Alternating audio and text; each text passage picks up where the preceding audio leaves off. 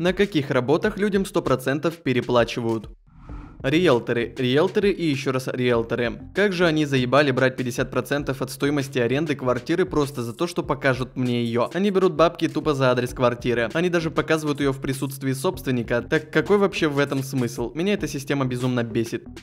Стоматологи. Сам медик и глубоко уважаю коллег, но при себестоимости материалов и навыков маржа чрезмерно раздута. В моем регионе резекция кишечника в частной больнице стоит дешевле, чем имплант зуба. Базару ноль. Еще раз, стоматология сложная и нужная отрасль, однако с ценовой оценкой явно что-то пошло не так.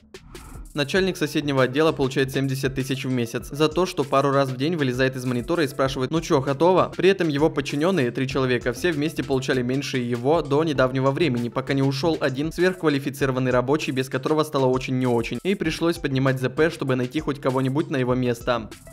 Наверное, блогеры. Они творят всякую дичь ради донатов, а люди платят им, чтобы хавать дерьмовый контент. Имея в виду не всех блогеров, а лишь тех, которые устраивают жестокие пранки, переводят кучу еды ради контента и так далее.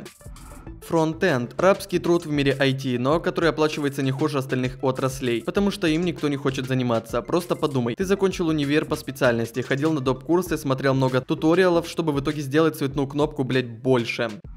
Блогеры и тиктокеры. Меня сейчас, конечно, пойдут убивать, но я остаюсь при своем мнении. Многие блогеры ноют про то, что у них убирают монетизацию, но в то же время куча геймеров и влогеров сейчас покупают новую тачку. Кто бы что ни говорил при сложности ютуба, это все равно халявные деньги. При этом не маленькие. При тиктоке то же самое, даже проще. Там тупо кривляешься на 30 секунд и за это также платят. Вообще не понимаю, зачем тикток платит деньги. Типа ютуб ладно, но тикток... И да, я не про всех. Есть блогеры и тиктокеры, которые получают свои адекватные деньги за норм контент, но тем не менее.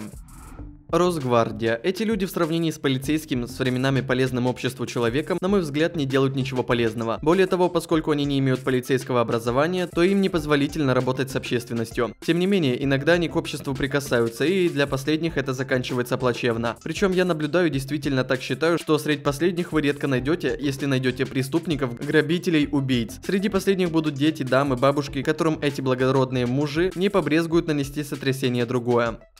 Психотерапевты, три с половиной тысяч рублей. Сибирь за час. А она, мат даже, никакой подготовительной работы не провела. Прочитай моего краткое резюме. Даже никакой подготовительной работы не провела. Прочитай мое краткое резюме с проблемой или хотя бы проведи тестовую беседу, чтобы познакомиться с человеком. Может вы как леди не понравитесь друг другу. Но нет, шаблона проговорила вещи, которые ко мне не имеют отношения и в итоге прописывает курс лечения, который обязательно должен курироваться. Мне плевать, что у вас 25 лет успешной работы. Если вы, например, за 25 лет превосходно научитесь делать скульптуру скульптуры из фекалий, то вы, безусловно, профессионал, но толку от вас нет.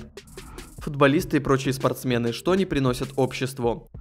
Я ходил подрабатывать на стройку, и там среди работяг, которые хреначили цемент 24 на 7, был дед, который ничего не делал. И иногда рассказывал охрененные истории про то, как он срался с машинистом в автобусе, и ему платят столько же, сколько и обычным работягам.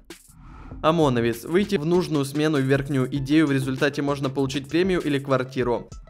Спортсмены. Мало того, что никакой пользы не несут для общества, так еще и права качают, садясь за ничего в депутаты. Большее внимание вызывают футболисты, пинать мяч за миллионы или лечить людей за копейки.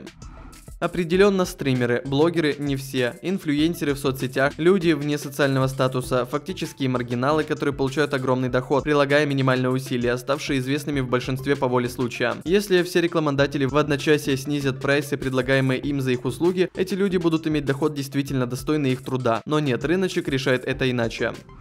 Блогинг в ТикТоке. Ладно, еще на Ютубе. Тут есть люди, которые делают годнейшую годноту. Соответственно, сами тратятся на свой контент. Но, блин, зачем миллионы тиктокерам? Собиратели мячиков для гольфа 1000 плюс долларов в день. Хотя работают они пару раз за неделю, но бля, я бы тоже не прочь побразгаться в воде за такие бабки футболисты. Бегать и пинать хуй может каждый и падать красиво. Директора компаний почти все, губернаторы, депутаты и сын маминой подруги или же сын полка, как хотите. Частные репетиторы. За индивидуальный урок по школьной математике я беру 10 тысяч тенге в час, 1700 рублей. При этом урок идет минимум полтора-два часа. Репетиторство. Работаю репетитором по математике и за полтора часа получаю косарь. Я студентка и у меня нет особых регалий или чего-то такого. А мои сверстники на своих работах получают по 100-200 рублей в час.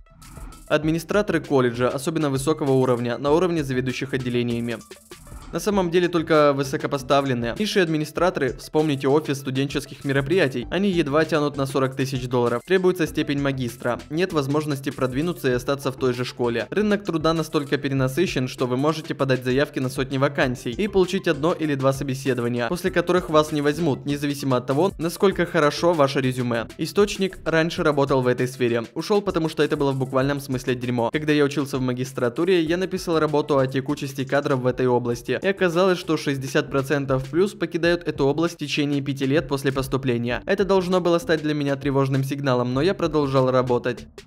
Подрядчики, 200 баксов, 400 баксов в час. Я все еще должен проверять всю вашу гребаную работу и пасти вас, как стадо чертовых кошек, и кормить вас обедом, и ничего не будет сделано вовремя для моего гребаного клиента, потому что ваша документация вся в заднице. Другие новости. У меня на работе сейчас очень напряженный строительный проект.